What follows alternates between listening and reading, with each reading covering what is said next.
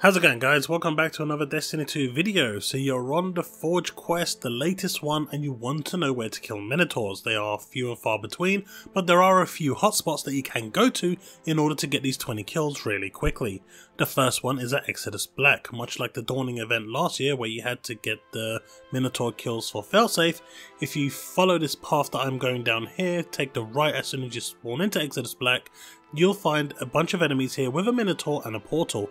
You pretty much dispatch of the enemies, kill the Minotaur, jump through the portal, go to the end until the loading screen appears for the next zone, turn around, come back, go through the portal, and rinse and repeat. You can get 20 kills this way very very quickly. Alternatively, you could go to Artifact's Edge, and there's usually between 1 and 2 Minotaurs on the platform on the left as you jump down. You've also got the Lost Sector, which has a Minotaur boss at the end, and finally you also have the Hollows Lair, which is a guaranteed Spire public event. The Spire public event also spawns at Exodus Black, so you could also look out for this as well by making it heroic Minotaur spawn in the dozen.